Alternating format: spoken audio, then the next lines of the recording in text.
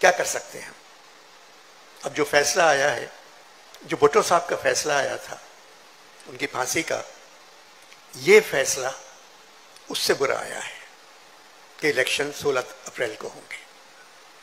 ये उससे बुरा फैसला है। पहले नौ जज थे, पाँच रह गए। उसमें भी दो जजों ने कहा कि इंतबात नहीं हो सकते।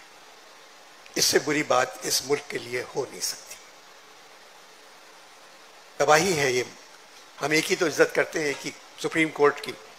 मगर हम सुप्रीम कोर्ट के बारे में कह नहीं सकते। कुछ नहीं कह सकते। कहना चाहिए अद्या के बारे में। मगर क्या करें? आप कराची में जाएँ शाहरा फैसल पर तो बड़े बड़े बोर्ड लगे हुए हैं। Soya supreme soya supreme soya supreme. जब सुप्रीम सो रहा है तो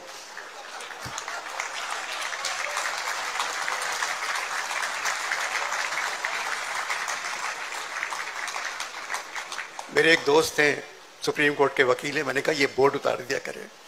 अच्छा नहीं लगता कि सोया सुप्रीम सोया सुप्रीम। कब जागेगा? थोड़ी देर पहले मेरी एहतजाज साहब से बात हो रही थी। उन्होंने मुझसे कहा कि, अनवर, तुम निकल जाओ यहाँ से, क्योंकि अंजाम अच्छा नहीं लग रहा है। मैंने कहा, एहतजाज, जिसका आगाज़ अच्छा हो, उसका अंजाम भी अच्छा ही होता है। मैं क्या करूँगा जाके बाहर?